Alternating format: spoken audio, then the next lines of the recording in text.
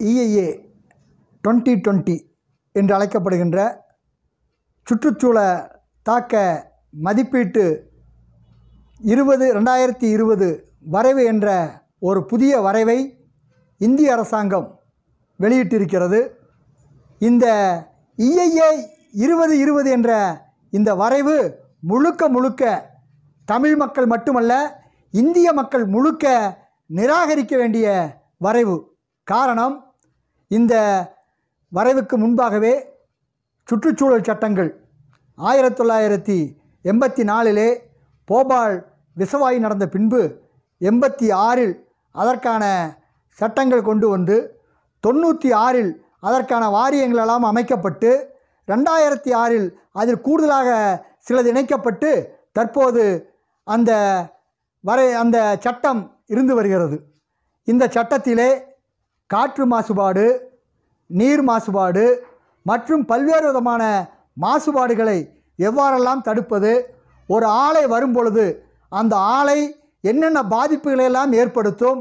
அந்த பாதிப்புகளையெல்லாம் அந்த ஆலை எவ்வாறு சரி செய்யும் என்பதையெல்லாம் முன்வைத்து அதை இந்திய அரசனுடைய நிபுணர் குழுவும் தமிழக அரசனுடைய நிபுணர் குழுவும் பரிசீலிப்பதோடு மட்டுமல்லாமல் பொதுமக்களுடைய கருத்து கேட்பையும் கேட்க வேண்டும் என்ற நிலையில் அந்த சட்டம் இன்று வரை அமலில் இருக்கிறது. ஆனால் இப்பொழுது இஐஏ இருபது இருபது என்ற வரைவில் பல்வேறு விதமான விதி விலக்குகள் கொடுத்து இந்த வரைவை இந்திய அரசாங்கம் அறிவித்திருக்கிறது. நம்முடைய கேள்வியெல்லாம் ஏற்கனவே இந்த சட்டம் அமலில் இருக்கும் பொழுதுதான் பல ஆறுகள் செத்து போய்விட்டது பல கடலோரப் பகுதிகள் அழிந்து விட்டது. இப்பொழுது கேரளாவிலே மூணாறிலே மலைச்சரிவு. கடந்த இரண்டு ஆண்டுகளுக்கு முன்பு இங்கே கேரளாவிலே உதகைக்கு அந்த பகு அக்கறையில் இருக்கக்கூடிய பகுதியிலே மலைச்சரிவு. எதனால் வந்தது? இங்கே குவாரிகள் மலைப்பகுதியில் முறையற்ற வகையிலே குவாரிகள் அமைத்ததால் அங்கே இயற்கையினுடைய சமநிலையை பேணாததால் இங்கே டாடா போன்ற கம்பெனிகள் மூணாற்றிலே முழுக்க தேயிலை தோட்டங்களை அமைத்து அதற்கான பல்வேறு விதிமுறைகளை மீறியதால் இப்படிப்பட்ட நிலையில்தான் இயற்கையினுடைய அழிவெல்லாம் இருக்கிறது. சுனாமி வந்த பொழுது தமிழகமே பாதிக்காத பகுதி ரெண்டு தான் இருந்தது. தமிழகத்தில் இருக்கக்கூடிய ஆயிரத்தி எழுபத்தஞ்சு கிலோமீட்டர் கடற்கரையிலே சிதம்பரத்தில் இருக்க- அருகே இருக்கக்கூடிய பிச்சாவரத்திலும் இங்கே ராமேஸ்வரத்திலும் தான் பாதிப்பு இல்லை. மற்ற அனைத்து பகுதியிலும் பாதிப்பு இருந்தது. காரணம் பிச்சாவரத்தில் அலையாத்தி காடுகள் இருந்தது.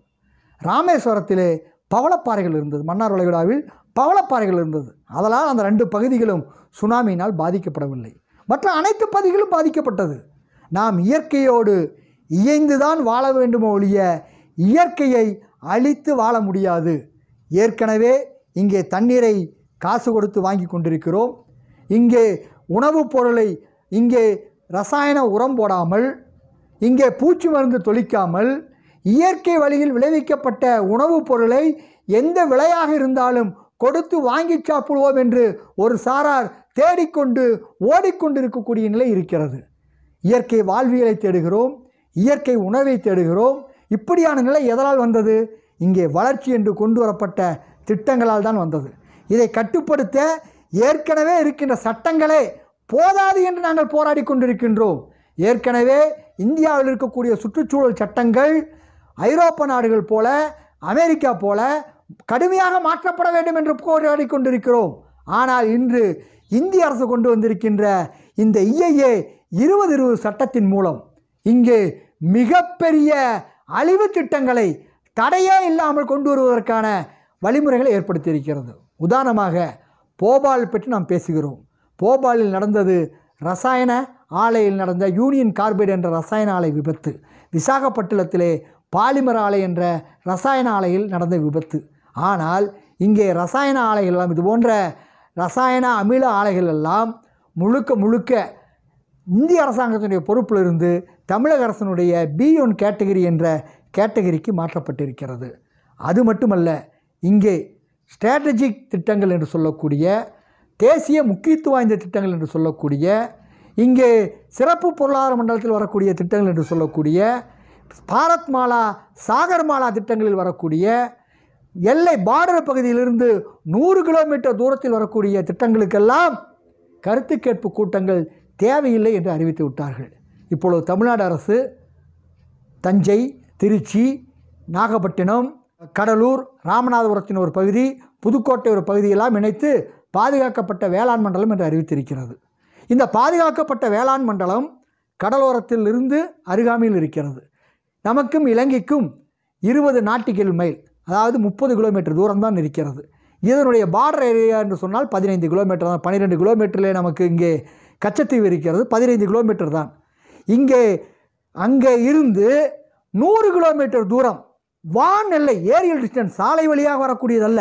அப்படி என்று சொல்லும் பொழுது திருச்சி வரைக்கும் எந்த விதமான திட்டங்களையும் நடைமுறைப்படுத்துவதற்கு பொதுமக்களுடைய கருத்து கேட்பு கூட்டங்கள் நடத்தப்பட வேண்டியது இல்லை என்ற அடிப்படையிலே இந்த சட்டம் இன்றைக்கு நடைபெற்றிருக்கிறது.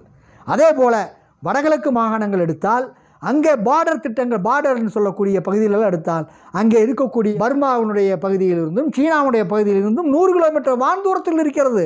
அந்த மாநிலத்தில் எல்லாத்தையும் அழிக்கலாம் மலையில் என்னடா திட்டங்களை கொண்டு வர முடியும்னு நினைக்கலாம் நமக்கு தெரியும் கொல்லிமலை. இங்கே இருக்கக்கூடிய கிழக்கு தொடர்ச்சி மலையில் மிகப்பெரிய மலை. அங்கே ஸ்டெர்லைட் நிறுவனத்தை நடத்திய வேதாந்தா நிறுவனம் மேட்டூரில் இருக்கக்கூடிய மால்கோவிற்காக இருபது ஆண்டு காலம் பாக்சைட் தாதுகளை அரப்பளீஸ்வரர் கோயிலுக்கு அருகாமையிலிருந்து வெட்டி கொண்டு வந்தார்கள். தொடர்ந்த போராட்டங்களை நடத்தி ரெண்டாயிரத்தி எட்டாம் ஆண்டு ஆட்சியர் சகாயம் அவர்கள் இருக்கும் பொழுதுதான் அந்த திட்டம் நிறுத்தப்பட்டது. அதற்கான அனுமதி ரத்து செய்யப்பட்டது. அப்படியான நிலை இருந்தது. காரணம் என்று சொன்னால் மழை என்று சொன்னால் நமக்கு தான் மழை முதலாளிகளுக்கு மழை அல்ல பன்னாட்டு கார்ப்பரேட் கம்பெனிகளுக்கு மழை அல்ல. அந்த மலையில் இருக்கக்கூடிய அத்தனையும் அவர்களுக்கு தங்கம். நமக்கு பார்த்தா மலை பாறை. அவங்களுக்கு பார்த்தா என்னது? அது வந்து குவாரி கிரானைட் குவாரி. நமக்கு பார்த்தா ஆத்தோரத்தில் கிடக்கிற கடலோரத்தில் கிடக்கிற மணல். ஆனால் முதலாளிகளுக்கு என்ன? அது தாது மணல். அதில் என்ன இருக்குது? கார்னேட்டு இல்மினேட்டு ரூட்டைலு சிர்கானு சில்மினேட்டு தோரியோ. இப்படி மோனோசைட் என்று சொல்லக்கூடிய அணுகுண்டு தயாரிக்கக்கூடிய தனிமங்கள். ராக்கெட் தயாரிப்பதற்கு முப்பதாயிரம் டிகிரி வெப்பத்தை தங்கக்கூடிய தாது பொருள் எல்லாம் அங்கே இருக்குது. அவர்களுக்கு அது எல்லாமே காசு. மலையும் காசு ஆற்றில் இருக்கக்கூடிய மணலும் காசு கடலும் காசு அத்தனை பகுதிகளும் காசாக இருக்கிறது. இப்பொழுது இந்த திட்டங்களை எல்லாம் அவர்கள் நடைமுறைப்படுத்த முடியும். இந்த டுவெண்ட்டி டுவெண்ட்டி இஏ டுவெண்ட்டி டுவெண்ட்டி வந்தால் இதையெல்லாம் நடைமுறைப்படுத்த முடியும்.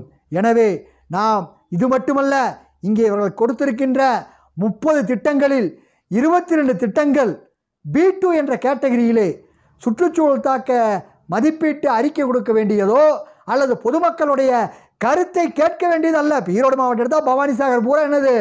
பேப்பர் மில்னால பாதிப்பு. ஆனால் இனிமேல் தோக்கவாடியிலையோ அங்கே பவானி சாகர் இருக்கக்கூடிய பேப்பர் மில்லை எதிர்த்து பேப்பர் மில்லு சிவப்பு கேட்டகரியில் இருக்குது. அதுக்கு கருத்து கேட்பு கூட்டம் இனிமேல் கிடையாது. அதே போல் சிமெண்ட் ஆலைக்கு கிடையாது. சுரங்கங்களுக்கு கிடையாது. டெல்டாவில் வரக்கூடிய எந்த தொழிலுக்கும் கிடையாது. இதை விட மிக முக்கியம் இங்கே தமிழகம் மிகப்பெரிய போராட்டத்தை நடத்தியது. Methane shale methane hydrocarbon. இது எல்லாத்துக்குமே இனிமேல் கருத்து கேட்பு கூட்டம் கிடையாது. எல்லாமே பி டூ வகை என்று டுவெண்ட்டி டுவெண்ட்டியில் அறிவிச்சிருக்காங்க. இனிமேல் அணுமின் நிலையம் கொண்டு வந்தா நியூட்ரினோ கொண்டு வந்தா நாட்டை நாசமாக்கின்ற திட்டங்கள்லாம் கொண்டு வந்தா இது ஸ்ட்ராட்டஜிக் பிளான் என்று கொண்டு வந்து விடுவார்கள். இங்கே எட்டு வழிச்சாலை என்று சொன்னால் இன்னொன்று நமக்கு தெரியும். இண்டஸ்ட்ரியல் கேரிடார் அதே போல இண்டஸ்ட்ரியல் கேரிடார் அதே போல் டிஃபென்ஸ் கேரிடார் என்கிறார்கள். பாதுகாக்கப்பட்ட ரோடு அதே போல் தொழிற்சாலை ரோடு என்று சொல்லி இந்த எட்டு வழிச்சாலையை டிஃபென்ஸ் கேரிடாரில் கொண்டு வருகிறார்கள். நாடு முழுக்க இராணுவ கேந்திரமாக்க நாடு முழுக்க பெரும் பெரும் சாலைகள் அமைக்க ரோடெல்லாம் நமக்கு என்ன தெரியும் இப்போ ரெண்டு வழிச்சாலை நாலு வழிச்சாலை தான் தெரியும் இனிமேல் பதினாறு வழிச்சாலைகள் இரநூத்தி முப்பது அடி ரோடு ரோடு போடுவதற்கு பொதுமக்களுடைய கருத்து கேட்பு கூட்டத்தை வேண்டாம் என்று சொல்கிற இந்த திட்டம். எனவே இந்த திட்டம் தமிழகத்தினுடைய இயற்கை வளத்தை தமிழகத்தினுடைய குறிஞ்சித்திணையான மலையை தமிழகத்தினுடைய முல்லைத்திணையாய காடையும் நிலப்பகுதியையும் தமிழகத்தினுடைய மருது நிலமான டெல்டா பகுதியும் தமிழகத்தினுடைய நெய்தல் பகுதியான கடற்கரை பகுதியும் கடல் பகுதியும் அனைத்தும் கொள்ளையடிப்பதற்காக தமிழகத்தை அழிப்பதற்காக இந்திய நாட்டுடைய வளங்களை சுரண்டுவதற்காக கொண்டு வரக்கூடிய திட்டங்கள் இந்தியா திரும்பவும் சொல்கிறோம். இந்தியா ஏற்கனவே சுற்றுச்சூழல் பாதுகாப்பிலே நூற்றி எழுபதாம் இடத்தில் இருக்கிறது. இந்த திட்டங்கள் நடைமுறைப்படுத்தப்படுமே ஆனால் இந்தியா இந்த உலகத்தினுடைய கடைசி நாடாக மாறும். தமிழகம் என்ற இனம் தமிழகம் என்ற நாடு இல்லாமலேயே இங்கே சுரங்கங்களாக தோண்டி முன்னூறு லட்சம் லட்சம் கோடி ரூபாய் இருக்கக்கூடிய நிலக்கரிக்காக டெல்டா அடிக்கப்படும் நாடு முழுக்க இருக்கக்கூடிய மண்ணுக்கு கீழ் உள்ள செல்வத்திற்காக இந்த நாடு சூறையாடப்படும் மேற்கு தொடர்ச்சி மலையும் கிழக்கு தொடர்ச்சி மலையும் இல்லாமலேயே அழிக்கப்பட்டுவிடும் ஆறுகள் அழிக்கப்படும். எனவே ஐஏஏ இருபது இருபது எதிர்த்து நாம் அனைவரும் குரல் கொடுக்க வேண்டும். நம்முடைய கருத்தை இந்திய அரசுக்கு தெரிவிக்க வேண்டும். இது எந்த வகையில் வந்தாலும் இதை முறியடிப்போம். தமிழகத்தை பாதுகாப்போம். இயற்கை வளத்தை பாதுகாப்போம்.